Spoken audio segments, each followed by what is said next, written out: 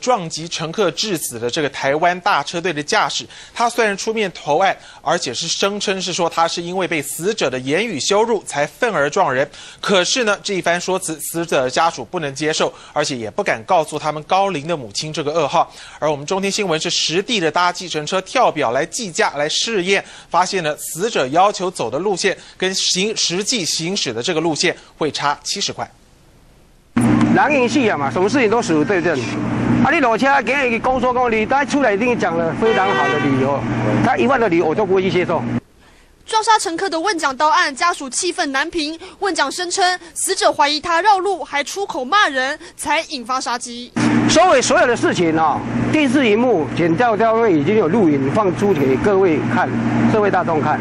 他情形很简单，以事实代表你楼下下车的过程到他撞他死的过程那一刹那。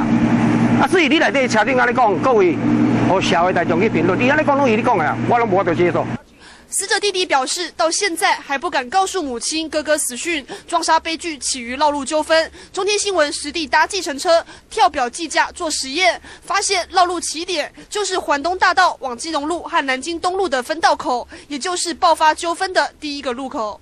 再来看看地图，红色路线是问讲行驶路线，蓝色是死者要求走的路线。问讲宣称开错路，不是故意绕路，先转进南京东路，再弯进八德路。但这一绕路车资是两百九十元，和死者要求的路线车资是两百二十元，差了七十元就断送一条人命。这两条路下来，你觉得有没有说差很远？